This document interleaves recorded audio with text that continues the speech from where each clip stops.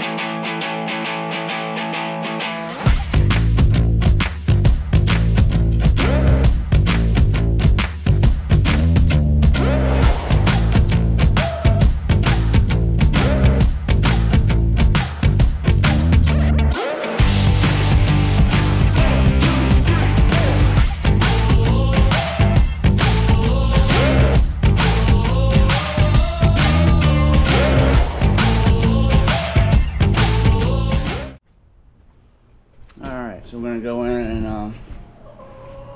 basically all my tools from the truck.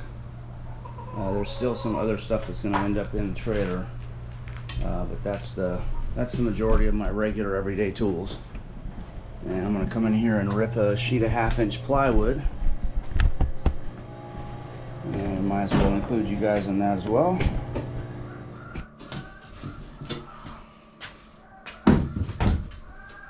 This is kind of a design as you go situation.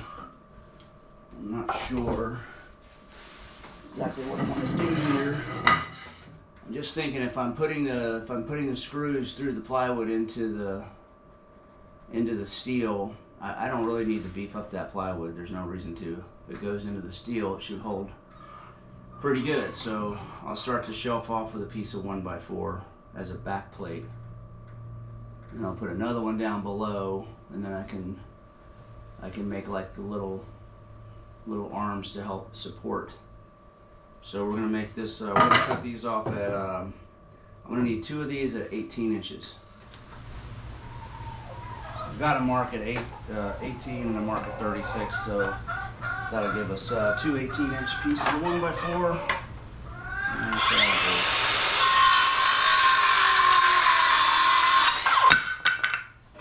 battery's getting a little low on the skill saw, I believe.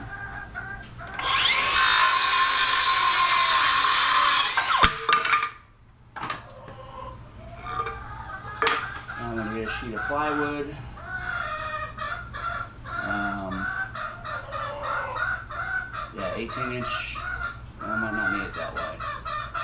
I'll mount these first. Alright, I'm still thinking about this as you can see.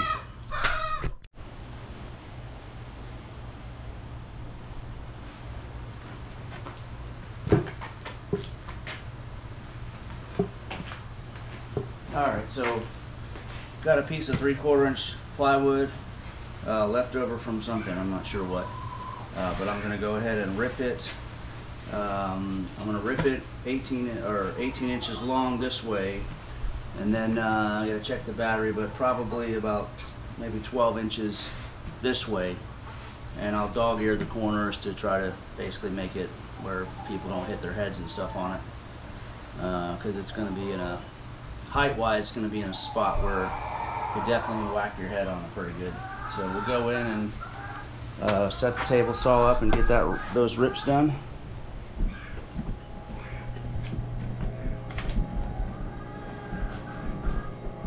I think this will work out all right.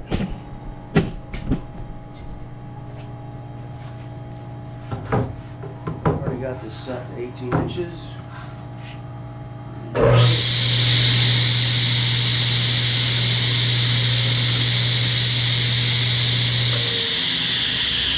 Dust collector on first.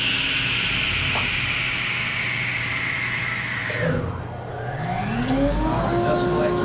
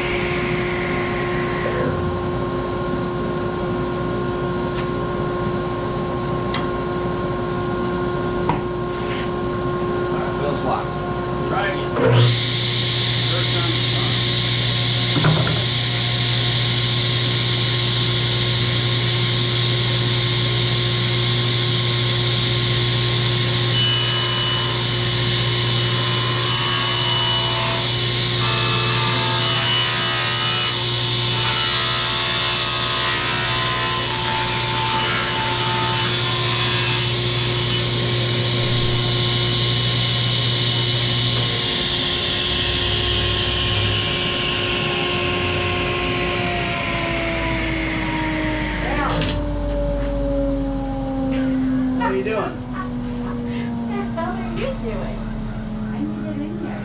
Oh. Probably shouldn't surprise me. Oh, I don't know. Who fucking somebody a cop put it on?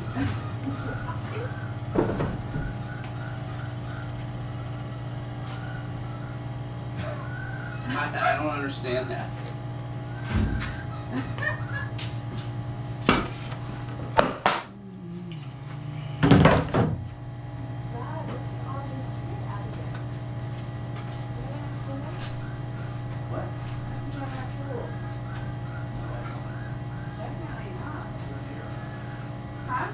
So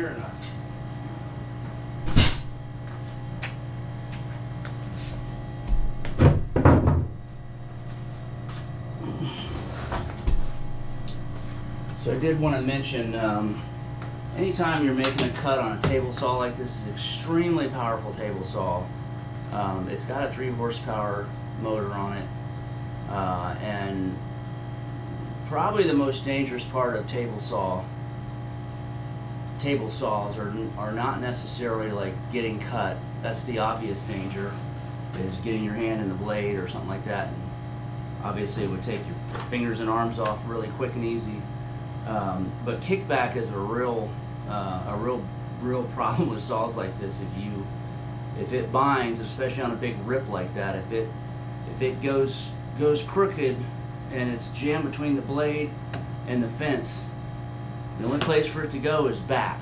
So anytime I make a cut like that, uh, you'll if you see me on video doing it, you'll usually see me pause for a second.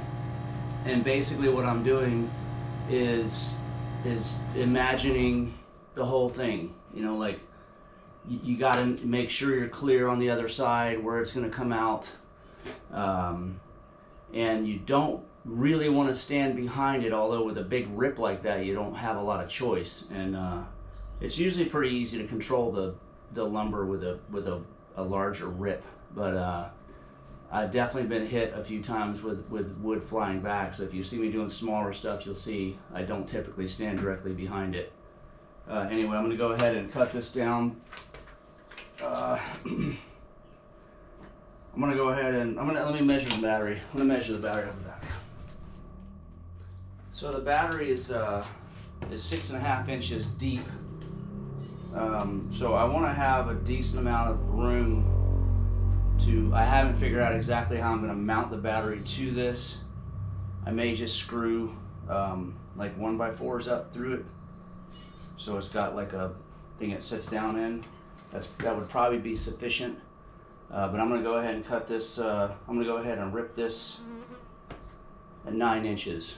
And that'll, that'll give me a little more room to work. And if I want to, if I want to change it down the road, I can do so. And I have a tape measure on here that is supposed to uh, tell you how the rip is, but it's technically typically not. I shouldn't say that. It's actually perfect.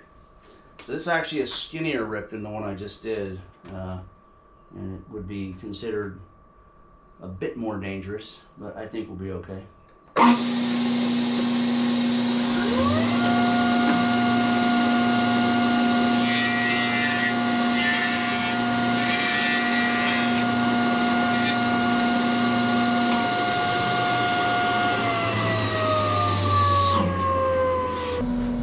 Not too bad.